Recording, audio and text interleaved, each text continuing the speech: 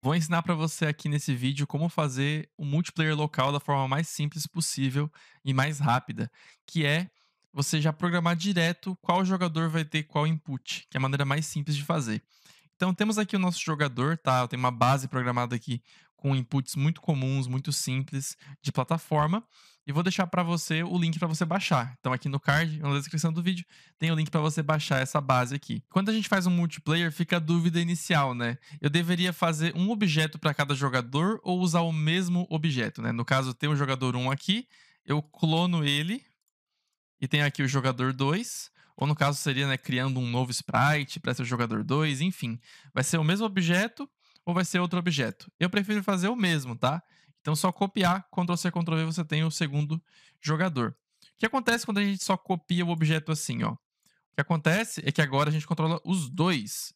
Se tivermos programados inputs comuns no nosso event sheet, né, setinhas para movimentar, é, setinha para cima para pular, isso vai fazer com que os dois passem a se mover usando o mesmo input. O que eu quero fazer é separar um para mover com WASD e outro para mover com as setinhas, para você ver como é a forma mais simples de fazer multiplayer local. Multiplayer tem como ser muito mais robusto do que isso, né? Tem como você ter um menu que escolhe os inputs, o jogador quer escolher jogar no gamepad, no controle ou no teclado, tem como fazer multiplayer online, tem, tem como brincar muito com multiplayer no Construct. Vou deixar o link aqui no card para você saber mais sobre o CMP, o meu curso de multiplayer, e aí você consegue é, fazer um multiplayer mais robusto com o meu curso, tá? Nesse vídeo eu vou me, me atentar ao mais simples para você poder usar aí já ver como é que é um multiplayer legal no Construct. Então aqui, cara, temos dois objetos e eles aqui eles estão com os movimentos básicos, ó. É, animação trocando, setinha movimenta. No caso, setinha ela tá como default controls, né? Por isso que ele movimenta aqui automaticamente assim. Primeiramente, o input vai ter que estar tá no código. Não tem como você usar um default controls e separar um para mover com WSD e outro com as setas. Então, vamos pegar aqui o objeto e tirar esse default controls aqui, essa caixinha. Vamos desmarcar ela. E agora ele não vai se movimentar. O que eu vou fazer é separar os dois e colocar um input para cada. Então, coloco um evento aqui do teclado. Quando segurar a seta keys down, seta direita, done. Também vou ter a seta esquerda, copia esse evento e bota aqui seta esquerda. E vou ter também seta para cima, botão de pular. Certo? E eu vou ter mais três desses, eu vou selecionar os três e copiar, que vai ser o D, vai ser o A e vai ser o W. Certo? Então, WASD, ele vai fazer os inputs para o outro jogador. Então, aqui para um jogador, aqui para o outro. Eu vou fazer o jogador 1 no WSD. Então, vou colocar aqui para cima, ó. E o D vai fazer uma ação do jogador. Plataforma tem aqui embaixo, ó.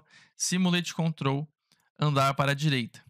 Tá? Isso vai fazer com que o boneco que tem o behavior de plataforma se mova para a direita. Copia essa aqui e troca para a esquerda. Copia essa aqui e troca para jump. Ok? Se eu deixar assim e dar um play, o que vai acontecer é que ainda estão os dois com o mesmo input. Beleza? Agora eu vou fazer a mesma coisa aqui para as setinhas. Ó. vou copiar aqui os três, copiar para cá, esquerda, jump. Ó, agora D para direita, setinha direita, direita. Tá igualzinho o WAD, só que agora com as setinhas, ó. O que vai acontecer agora? Separou? Não. Ainda não separou, ainda estão os dois. Agora a diferença é que eu consigo usar o W, A e o D para mover, ou as setinhas, e ainda move os dois. Agora o que falta é separar qual que vai mover com qual input. Então aqui eu vou colocar uma variável de instância que vai ser o player number, ou o número do jogador, tá, o que você quiser, se quiser escrever em português ou em inglês. Vou colocar o número jogador. Número jogador, que vai ser um number, tá? Então esse aqui ele vai ser o 1 e esse aqui ele vai ser o 2. Então agora quando eu uso o WAD, eu vou apertar B para puxar um evento vazio, colocar aqui para cima, vou apertar C, colocar condição. Jogador compara a variável dele, número jogador, se é igual a 1. Se for igual a 1, você usa o WAD para mover, ok? Agora puxa aqui para fora de novo, B, aperta pra, puxa ali para cima, aperta C, pergunta agora do jogador 2. Jogador, se a variável número jogador é igual a 2, ele vai, ó, usar as setinhas para se mover. E assim eu separei um do outro.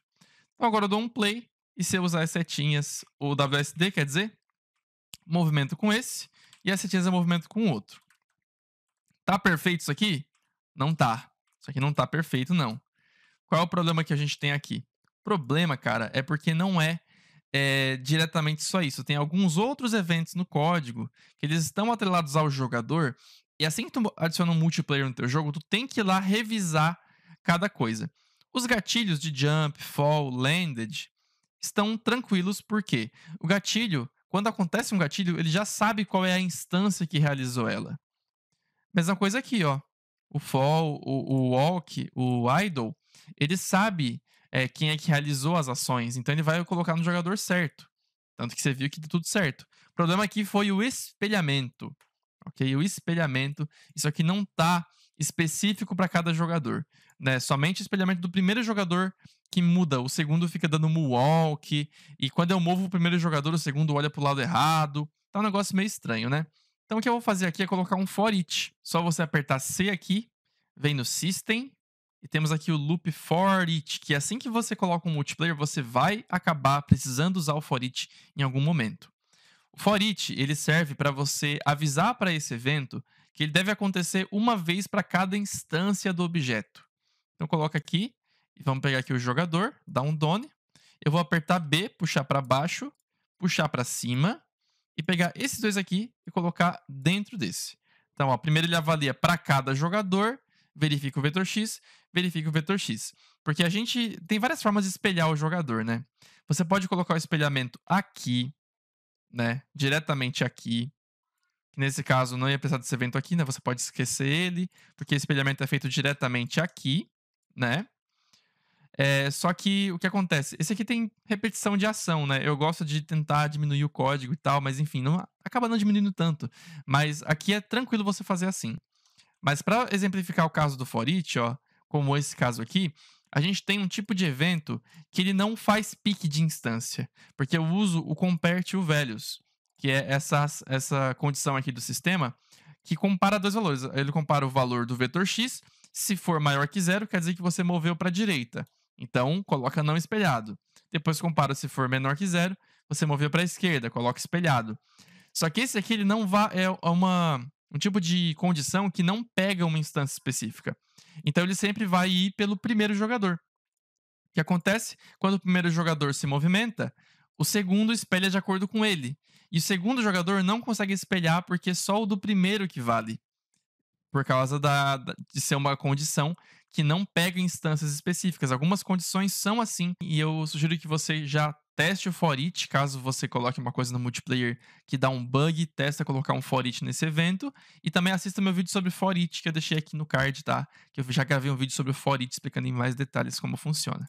Beleza? Então agora ficou tudo certinho. Se eu dou um play aqui, eu consigo andar com o cara aqui e com o outro, ó, individualmente eles fazem os seus espelhamentos e as animações tocam à vontade, ó. A animação não deu, não deu erro nenhum, porque a animação tá toda por gatilho. Então, assim que o cara tá realizando a ação, ele vai trocar animação, sem erro. Realmente, o esquema aqui foi o for each nesse caso, porque o compare values é, um, é uma condição que não pega instância. Por isso que precisei especificar aqui, as duas instâncias têm que ser analisadas para verificar o espelhamento. Beleza, cara, eu sei que tem jeito mais fácil de fazer, né? Tem com mirrored, not mirrored aqui, mas é legal você se desafiar, fazer uma coisa diferente, usar o for each, que aqui ele é muito útil também e você vai acabar precisando usar ele eventualmente. Muito obrigado por assistir, espero que você tenha aprendido alguma coisa com essa videoaula aqui. Relembrando que eu tenho um curso CMP, um curso robusto, totalmente completo, sobre multiplayer local, tela única, tela dividida, com split screen, né? Multiplayer online. Vou deixar o link aqui no card para você saber mais informações sobre o CMP, o curso Construct Multiplayer, beleza? Deixa um like, um comentário e vejo você no próximo vídeo.